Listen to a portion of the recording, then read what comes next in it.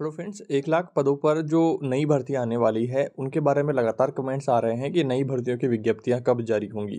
क्योंकि हाल ही में दोस्तों, थोड़े दिन पहले जो युवा बेरोजगार महासम्मेलन हुआ था उसमें ये बात रखी गई थी कि जल्द से जल्द विज्ञप्ति जारी होगी और जो नई भर्तियाँ हैं, वो आचार संहिता से पहले उनकी प्रक्रिया प्रारंभ हो जाएगी।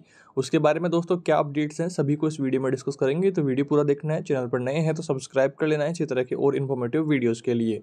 दोस्तों स्क्रीन पर आप ट्वीट देख रहे हैं, उपेन यादव सर का, इन्होंने मैंशन किया है कि एक लाख नई भर्तियों की विज्ञप्ति जारी करवाने और प्रक्रियाधीन जो एक लाख भर्तियाँ चल रही है, उनकी नियुक्ति प्रक्रिया जल्द से जल्द पूरी करवाने, युवा बेरोजगारों की विभिन्न मांगों को लेकर के लगातार हमारा सड़कों पर संघर्ष जारी है और जल्द ही माननीय मुख्यमंत्री जी अशोक गहलोत जी से 11 सदस्य प्रतिनिधि मंडल से वार्ता होगी। जैसा कि दोस्तों, युवा बेरोजगार महासम्मेलन में बात रखी गई थी कि 11 सदस्यों की एक कमेटी यहाँ पर गठित की जाएगी, जो कि बेरोजगारों की हर मांग को मुख्यमंत्री जी के पास में पहुंचाएगी।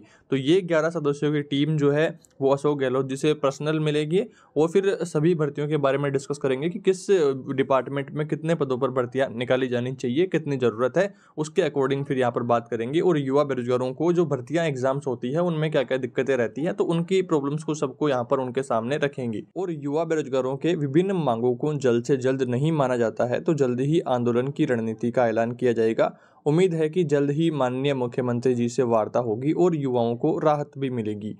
तो ये एक ट्वीट दोस्तों, एक लाख भर्तियों की विज्ञप्तियाँ जारी करवाने से संबंधित था और इसके बाद में अगला ट्वीट आप स्क्रीन पर देख रहे हैं, जिसमें अध्यापक भर्ती लेवल वन में चयनित अभ्यर्थियों के दस्तावेज़ सत्यापन का शेड्यूल इस वीक में जारी नहीं हो पाया है और अगले वीक में लेवल वन और लेवल टू दोनों के दस्तावेज़ सत्यापन का शेड्यूल जारी हो जाएगा और अगले वीक में काफ़ी विषयों के स्कोर कार्ड भी जारी हो जाएँगे। जैसे ही इनके बारे में और अपडेट्स आएँगे तो हम आगे की वीडियोज़ में डिस्कस करेंगे। चैनल को सब्सक्राइब ज़रूर कर लेना है।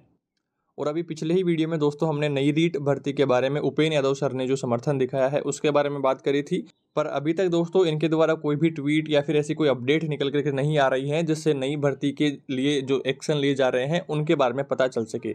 जैसे इसके बारे में और अपडेट्स आएँगी तो हम आगे के वीडियोज़ में डिस्कस करेंगे। चैनल को सब्सक्राइब करके रखना है, साथ ही साथ बेल नोटिफिकेशन ऑन कर लेना है, ताकि नई नई अपडेट्स आप तक टाइम टू टाइम पहुँचते रहे। इस वीडियो में दोस्तों इतना ही। Thanks for watching this video.